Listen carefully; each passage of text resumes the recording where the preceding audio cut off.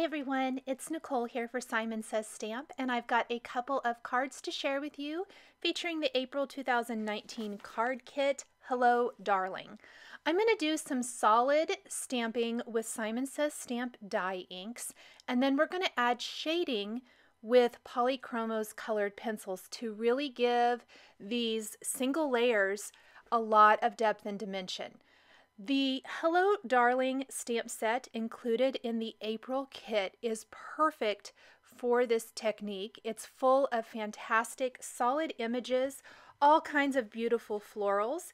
Whether you choose to do like the flower pots like I'm doing here, there's a large sentiment, there's larger leaves, um, a cute bicycle, lots and lots of images for building little scenes or cards that you can add shading with your polychromos or Prismacolor colored pencils.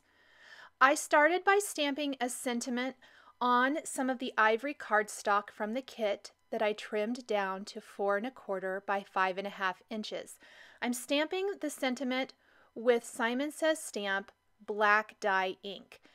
After I had stamped the first one, I decided to go ahead and stamp two at once. So each time I am stamping an image from the Hello Darling stamp set, I'm stamping it on both pieces of cardstock.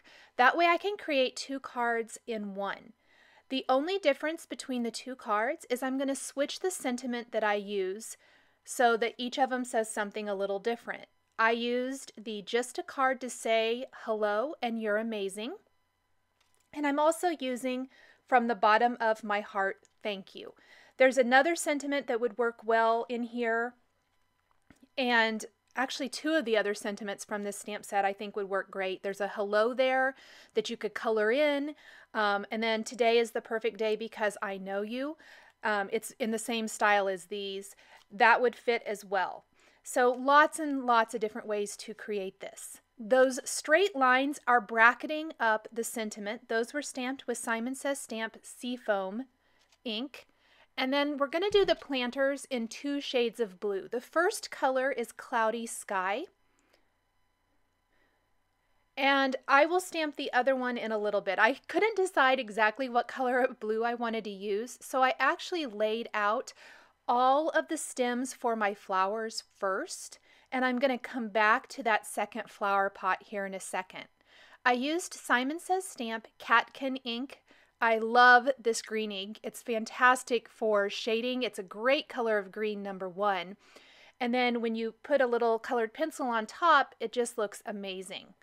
And then I used Caribbean Blue for the other flower pot, which worked beautifully.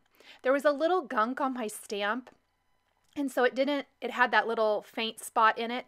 I removed that and just restamped it so it would look a little crisper.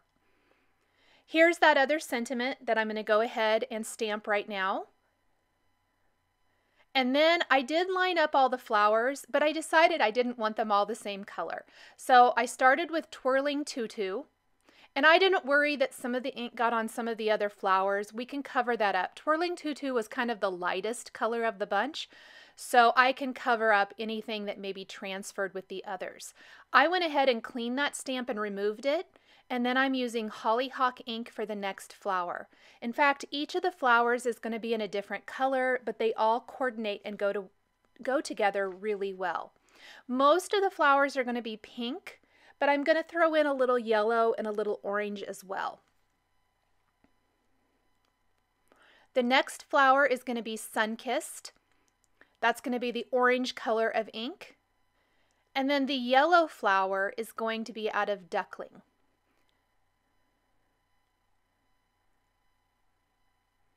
And you can really see these little flower pots coming to life, all of this great spring kind of images and colors. This is a perfect card kit for your spring card making. That final little flower over on the left hand side, we're going to stamp that with rose apple.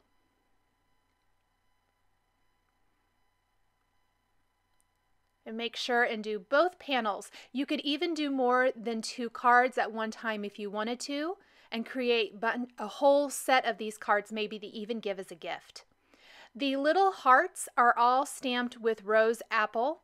So I've got the little hearts down by the sentiment. I'm going to grab a couple more hearts from the Hello Darling stamp set and stamp those up above to round out the heart design. I always like to do my embellishments in an odd number and that darker pinkish red color kind of gives a nice visual triangle with those two hearts up high.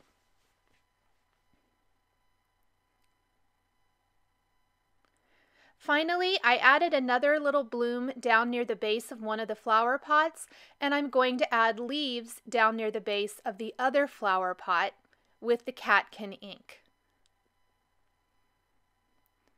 And that rounds out both of my backgrounds. Now they could be used as is if you want to.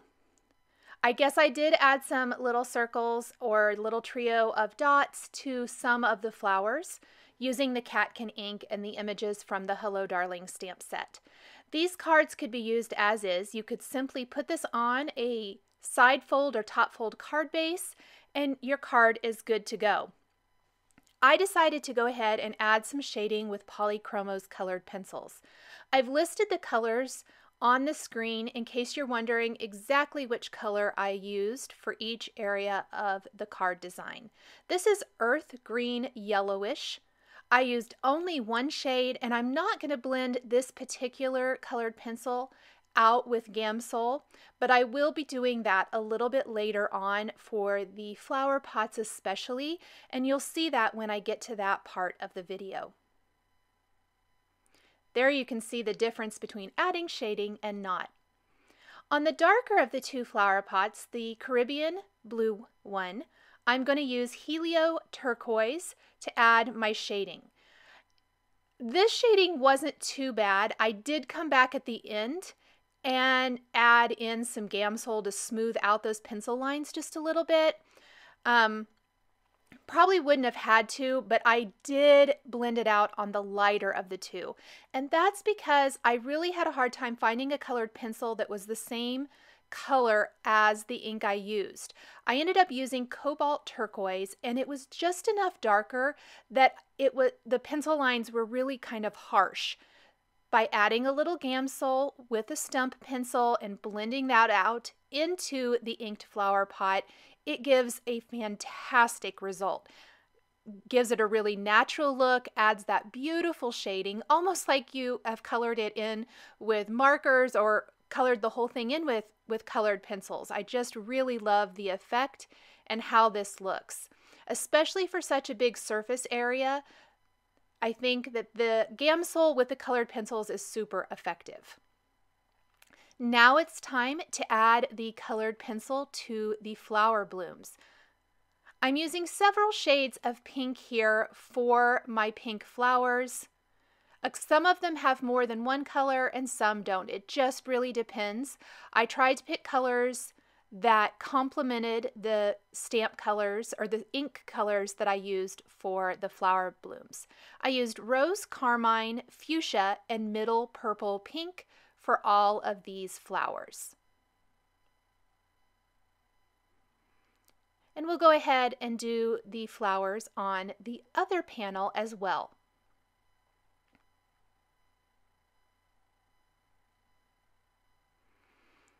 Instantly, this adds depth and dimension to the florals.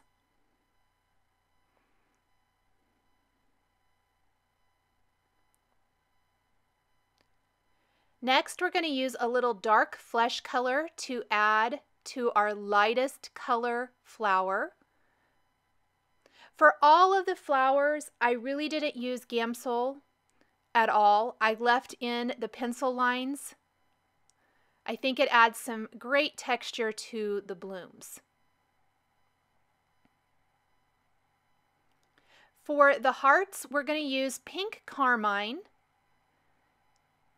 And I am going to use Gamsol and a stump pencil for these just to smooth out the pencil lines a little bit. It's personal preference. If you don't want to add any of that blending, you don't have to, or you could blend everything that you color. And that just deepens and darkens that bottom edge of the hearts and gives it fantastic dimension. We have our orange and yellow blooms left.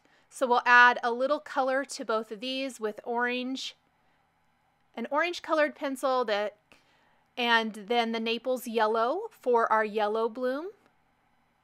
And then we're ready to finish up our card. This panel could be adhered directly to a card base if you wanted to. I decided to mat it on some of the very pretty pattern paper in the kit. And we'll sh I'll show you that here in just a second.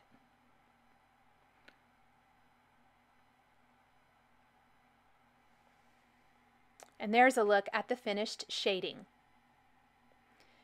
Using some of the Simon Says Stamp basic rectangles, we're going to die cut our stamped and colored panels with the second largest rectangle from the set.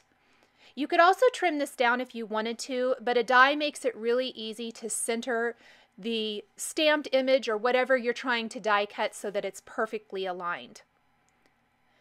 I'm also going to die cut some of the pattern paper from the kit, the Simple Stories Spring Farmhouse 6x8 paper. We're going to use the black and white gingham and then kind of the seafoam, seafoam and ivory gingham. And I'm going to use that largest die to die cut those backgrounds as well.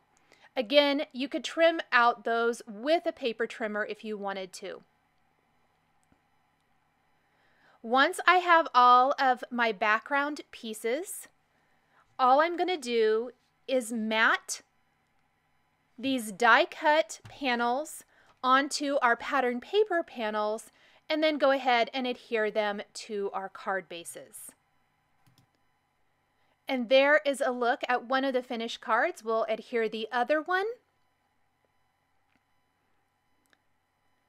And we have a beautiful set of cards using just stamps, inks, and colored pencils. Polychromos or Prismacolors, any colored pencil is going to add lots of fantastic depth and dimension to your solid stamped images. Thank you so much for joining me today for this set of cards featuring the April 2019 Simon Says Stamp card kit. Please be sure to visit the Simon Says Stamp blog for more information. Thanks for watching, and we'll catch you next time.